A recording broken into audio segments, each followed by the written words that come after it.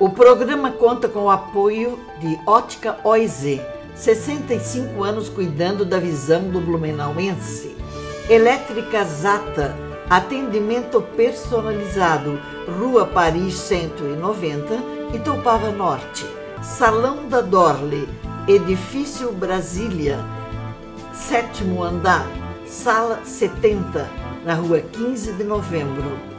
SERB, Centro de Excelência em Reabilitação, Rua Itajaí, 321.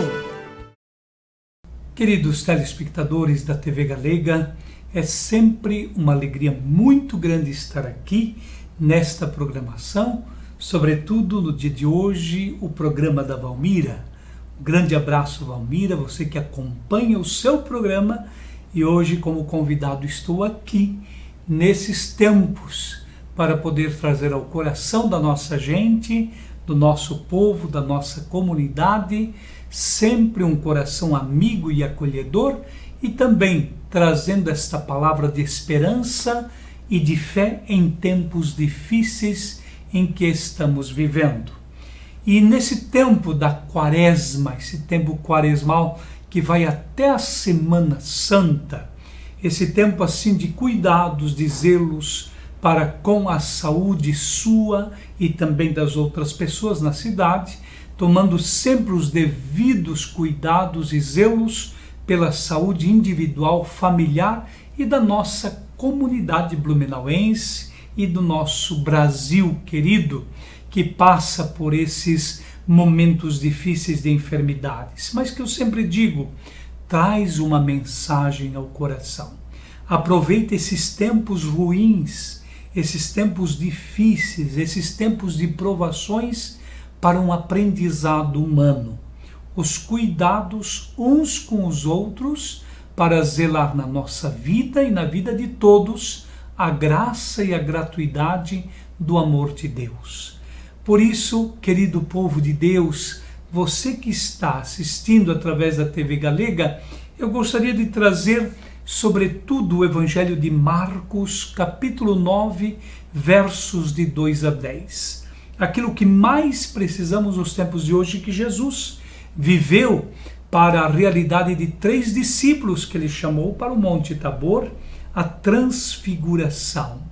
O mundo está tão desfigurado, as pessoas estão desfiguradas, o medo da enfermidade traz o temor, traz é, o susto, traz insegurança e traz um vazio muito grande que toca a alma das pessoas. Por isso que eu queria trabalhar esse tema da transfiguração do Senhor, que é a perspectiva cristã do sofrimento Ninguém alcança a vida eterna se não seguindo Jesus Cristo e carregando a própria cruz na vida terrena para um dia desfrutarmos da grande alegria celeste. Esses tempos de provações, tudo vai passar, mas sempre olhando Jesus, o servo sofredor, que carrega nesse tempo da quaresma aquele sofrimento que ele vai tranquilizando e ao mesmo tempo aconselhando o coração dos discípulos. Porque afinal, a sua e a minha vida aqui na terra não podemos viver sem a realidade de Jesus Cristo. Nós dizemos sempre: caminhamos na estrada de Jesus. E Jesus, ele caminhou por primeiro por aqui, para mostrarmos o caminho. E ele mesmo é o caminho. Então, o sofrimento de Cristo e as provações de Cristo é o nosso sofrimento e também as nossas provações. Se a gente olhar para a realidade da gente, a gente vai sempre se deparar com o medo, com a insegurança e também com o vazio diante da dor. Mas se a gente olhar para Jesus Cristo, nós vamos entendendo as preocupações que no presente momento esse tempo de pandemia vem trazendo ao nosso coração.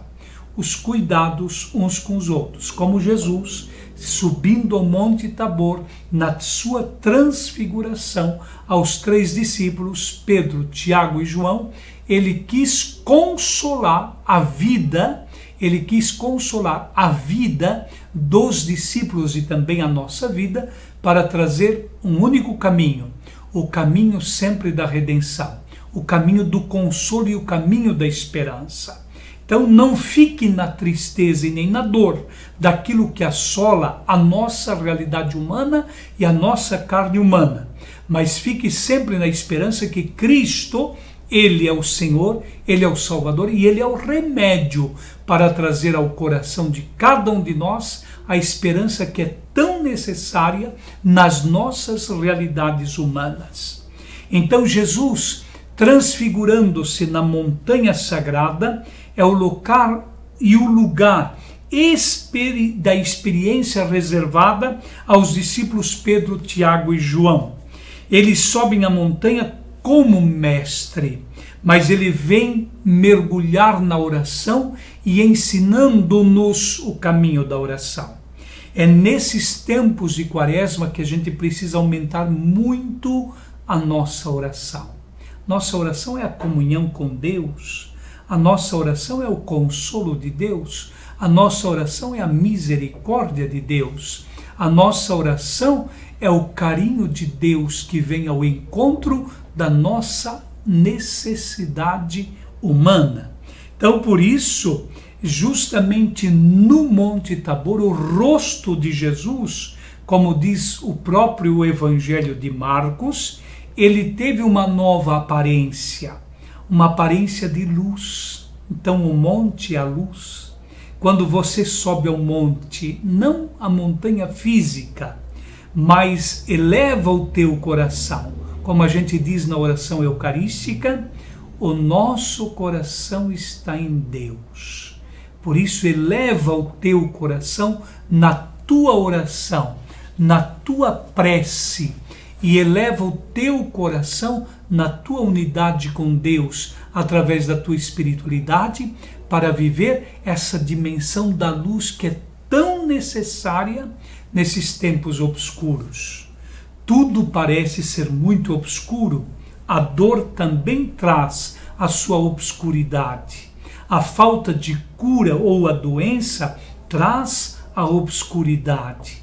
Mas não é isso que fica, não é isso que permanece. Isso também passa e vem a luz da cura, vem a luz da esperança, vem a luz da alegria, vem a luz do novo, vem a luz do recomeçar, vem a luz do próprio Cristo. Por isso, ninguém alcança a vida eterna se não segue Jesus Cristo. Ninguém alcança a esperança se não olha para Jesus Cristo. Ninguém alcança o consolo se não olha para Jesus Cristo. Ele é o consolo, e ele é a esperança, e ele é o caminho.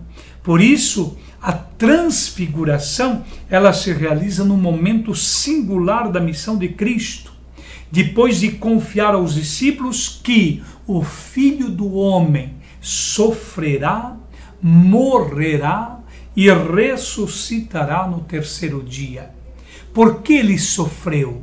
Por que ele passou pela morte? Porque a humanidade na época rejeitou como filho de Deus. Como diz o evangelista João, ele veio para os seus e os seus não o acolheram. Acolhe Jesus Cristo na realidade atual da sua vida, como você acolhe a esperança, como você acolhe as esperas e demoras, como você acolhe o sofrimento e as lágrimas de quem está chorando a morte dos seus entes queridos devido à enfermidade vigente.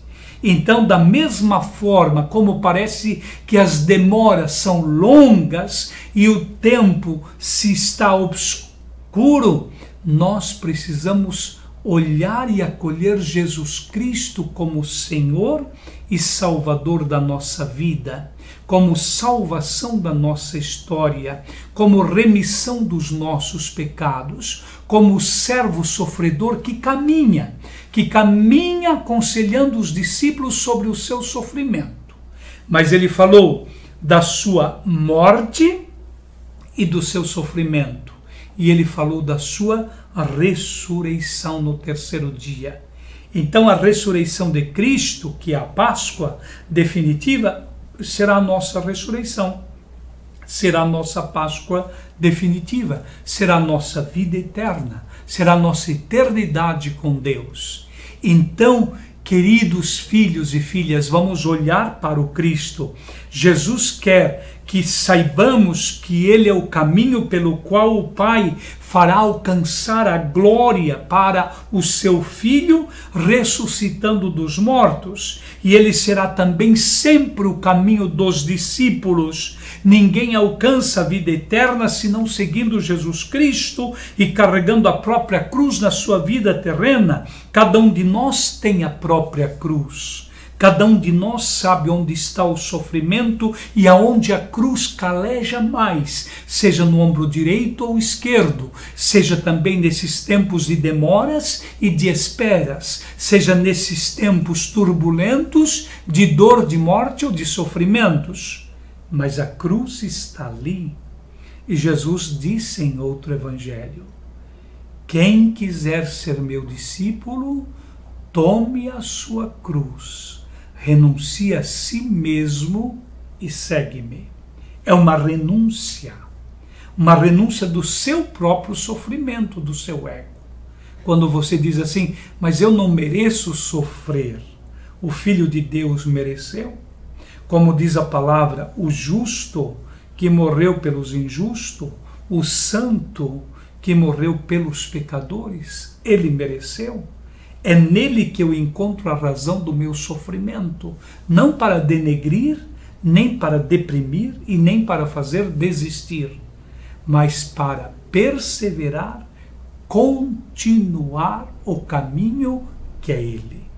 Deixa o caminho de Cristo ser o teu caminho, seja na condição de vida em que você se encontra e em que você está mas seja capaz de subir ao monte com ele, como Pedro, Tiago e João, e transfigurar a vida desfigurada em que você se encontra na transfiguração do Senhor. Entendendo que o caminho que passa pelo sofrimento haverá glória e haverá salvação. Não fique no desespero e nem na dor, mas olhe para Cristo e encontre nele a esperança que é tão necessária para a sua vida pessoal e atual no dia a dia.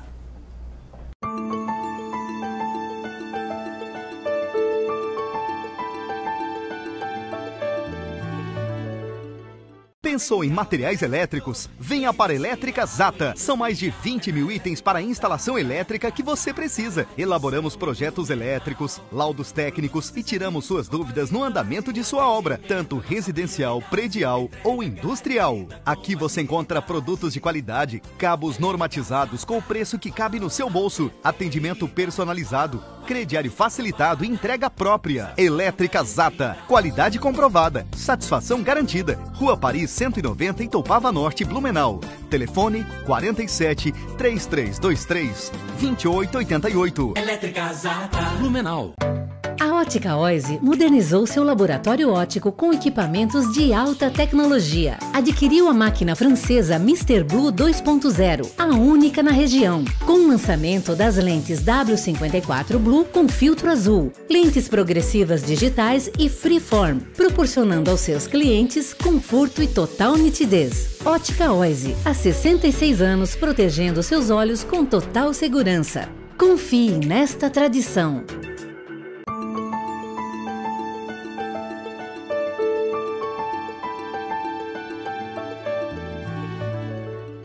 Amados telespectadores da TV Galega, voltamos com a nossa programação, o encontro com você através do programa da Valmira.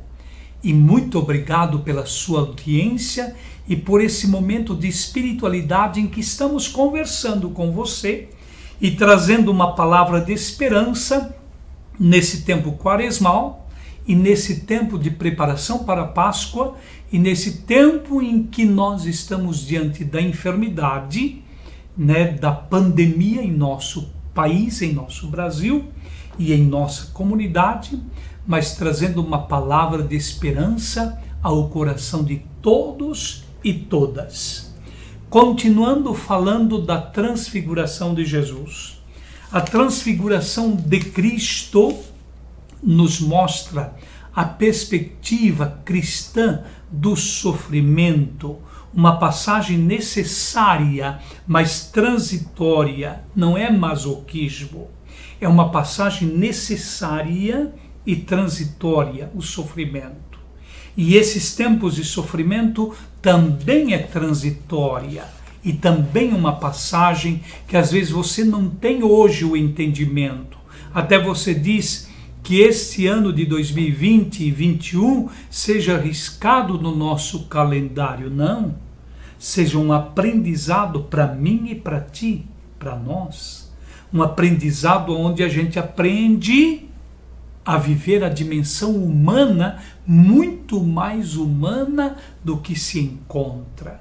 Uma realidade totalmente humana, onde você se torna uma pessoa humanitária, humanista, no cuidado ao semelhante, ao ser humano, aqui no nosso planeta Terra, que é a nossa casa comum.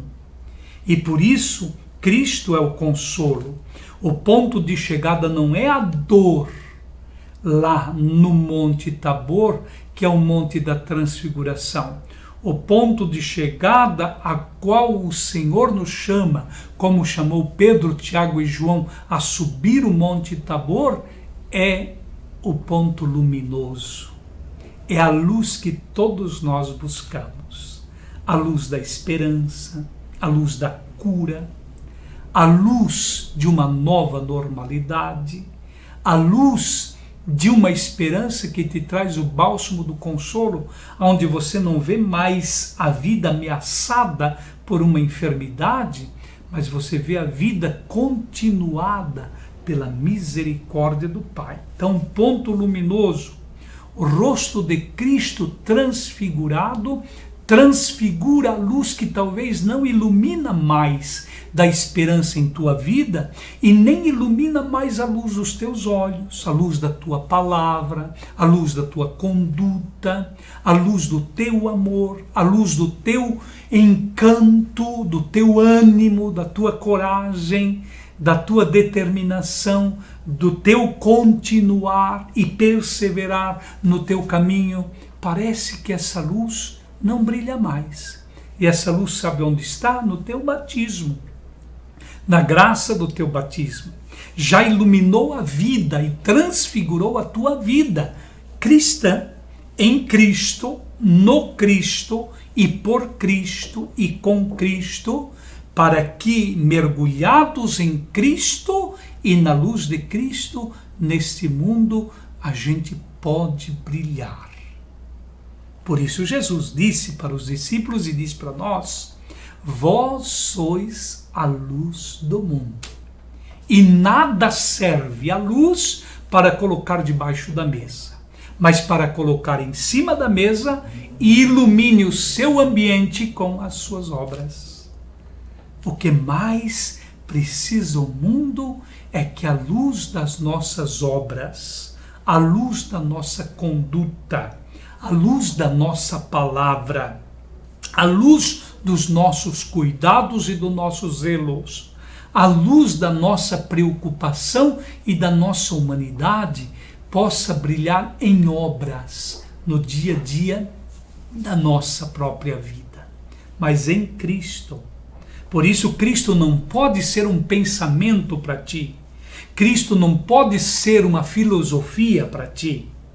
Cristo não pode ser apenas um homem histórico para ti. Cristo é uma pessoa e você precisa ser encontrado e encontrar essa pessoa no dia a dia da tua caminhada espiritual, da tua caminhada espiritual e de fé.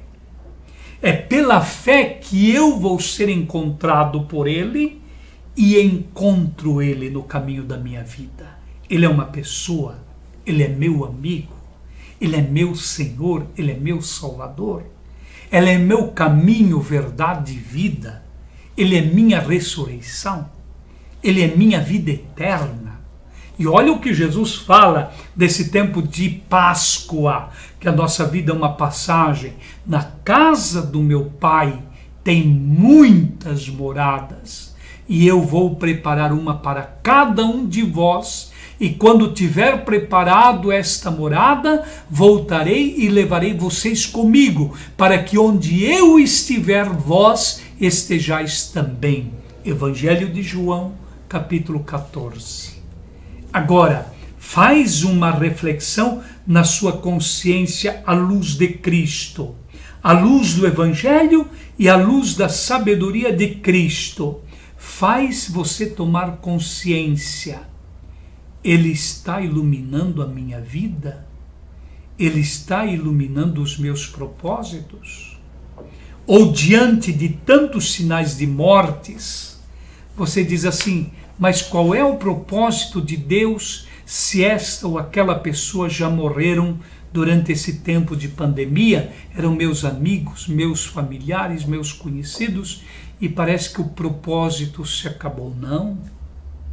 Lembre-se que espiritualmente, antes de nós pertencermos a uma família, a uma pessoa, a um relacionamento, a um amor, a uma paixão, você pertence ao Criador pela criação. Portanto, criados à imagem e semelhança de Deus. Na luz de Cristo que ilumina no Tabor, ele ilumina nossa vida para que no dia a dia da nossa existência a gente seja luz. Seja no trabalho, seja no casamento, seja no relacionamento, seja na família, seja na igreja, seja no mundo civil. A luz daquilo que você é, não a luz daquilo que você tem, mas daquilo que você é. Por isso, essa é a luz, e nele está a salvação e o amor de Deus sem limites em Cristo, que subiu ao Tabor. Nele está a salvação e o amor de Deus sem limites, mostrando a sua glória. Jesus garante que a cruz e as provações, as dificuldades nas quais nós debatemos nesse mundo, tem a sua solução e a sua separação, superação na Páscoa. Tem a sua solução e a sua superação na Páscoa. Passagem. A Páscoa é passagem. Então, no teu sofrimento é uma passagem, não vai permanecer sempre. Na enfermidade pandêmica é uma passagem, não vai permanecer sempre. Mas até quando? Não sabemos. O tempo é da criação. O tempo é da natureza. A natureza é senhor do tempo. Nós temos um dia de cada vez, o dia de hoje. Ontem já foi história. O amanhã na vida de cada um de nós não chegou ainda. Então não se ilude. Você vive o dia de hoje, um dia de cada vez. Nós, pessoas humanas que estamos aqui nesse tempo de passagem, não temos tempo de sobra Agora, a natureza tem tempo de sobra. Quando você na nasceu, a natureza já estava aqui. Quando as pessoas que morrem, a natureza continua aqui. Então, a natureza tem tempo de sobra. Esperamos o tempo com esperança. Aguardamos o tempo com esperança. Acolhemos o tempo sem desprezar o tempo com esperança. Essa luz que o Cristo veio trazer a cada um de nós nas nossas realidades. Por isso, a oração em Cristo e no Espírito Santo de Cristo transforma a pessoa, parte de dentro da pessoa e pode iluminar também de dentro a pessoa os outros, o mundo e as circunstâncias em que você vive. E o que mais importante em você é a luz que vem de dentro. Você às vezes procura tanto a luz fora, a luz da aparência, a luz somente da aparência, e você esquece de viver a luz de Deus que vem de dentro de você, que veio desde a tua criação, porque Deus te ama. E esse é o tempo de a gente viver essa dimensão de sermos a luz de Cristo e na luz de Cristo eu posso iluminar a vida das pessoas e entender que esse tempo é um tempo de graça, de bênção e que no tempo da Páscoa a gente vai entendendo o tempo de Deus. Muito obrigado, Valmira, por esse momento do seu programa. Muito obrigado a você, telespectador da TV Galega, que acompanhou esse programa e essa reflexão espiritual, e que seja para o teu coração a luz da fé, a esperança. E o tempo de paciência, nesse tempo de espera, para quem espera no Senhor, espera tudo e acontece tudo. Deus seja louvado pela sua vida. Um grande abraço e assim Deus o abençoe. O programa conta com o apoio de Ótica OIZ, 65 anos cuidando da visão do blumenauense. Elétrica Zata, atendimento personalizado, Rua Paris 190, Itopava Norte. Salão da Dorle, Edifício Brasília, sétimo andar, sala 70, na rua 15 de novembro. CERB, Centro de Excelência em Reabilitação, Rua Itajaí, 321.